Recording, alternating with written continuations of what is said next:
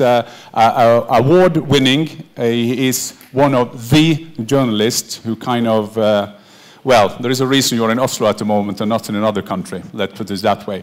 Can you, because we were laughing and we're smiling and we are in beautiful Norway on a beautiful summer day, take the audience into the world of the dark forces, into the power battles of what we love and call sport.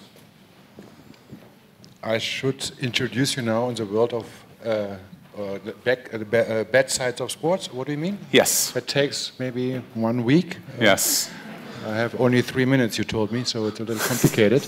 um, yeah, what I can say is ARD German Television. Um, I'm working for uh, the public uh, state-run TV in Germany. Um, we are working on doping stories now for, I would say, 10 years, and we have a special investigative uh, department, research department, and I'm the head author for, for, for this department.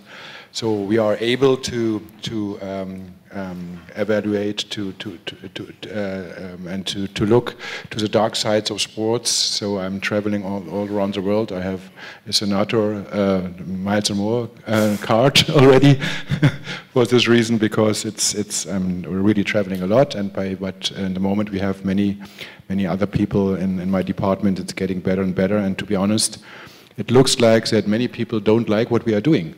Um, um, and uh, that's not only Russia, as we have a lot of really hard um, discussions with the Russians, and they don't like it all what we are doing, and alongside with um, whistleblowers like Grigory Rodchenkov and the famous Stepanovs, which helped me to, to um, uncover the truth about the prevalence of doping in Russia years ago. We are obviously treated as state enemies in Russia. Uh, it's not that funny, to be honest, and uh, I can say that also here that uh, ARD decided that I'm not going to Russia to cover the sport, the World Cup, because there have been serious security concerns and threats by the Russians with respect to a so-called state-run investigation or investigative committee who wanted to interrogate me and said they will do everything to force me to do that. And um, so uh, on the other side, there have been also threats by individuals from Russia uh, with respect to our coverage um, just recently. So at the bottom line, the German Minister for Foreign Affairs, in cooperation with the German Federal Criminal Police Office, decided that we shouldn't go. And uh, because you can imagine that ARD has a kind of res responsibility for staff people, uh, I supported that decision. So I'm not working in Russia, but they can everything to try uh, to limit our work. They can try to hinder us. They will never avoid investigative journalism, to say it very clearly.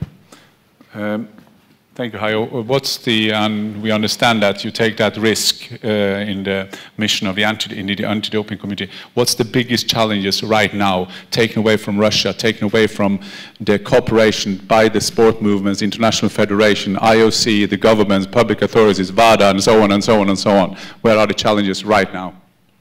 The biggest challenge is a very old one, and uh, I think I'm, I'm now for 33 years working as a journalist, 10 years in this special department, 20 or 25 years focused on doping, and what I can say is the number one topic is the clear conflict of interest. It simply doesn't work. So it's a promoter of sports is controlling uh, its own business. That simply is not possible.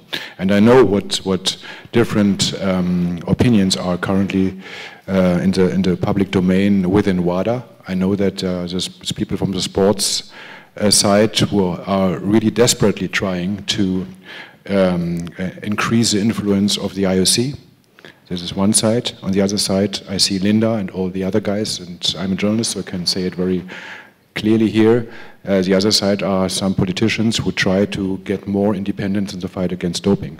The International Testing Agency is one good example where people try to hose the whole world because the International Testing Agency is in the hands of the Olympic movement. So they pay it. So there is another clear conflict of interest, and it's very clear for me.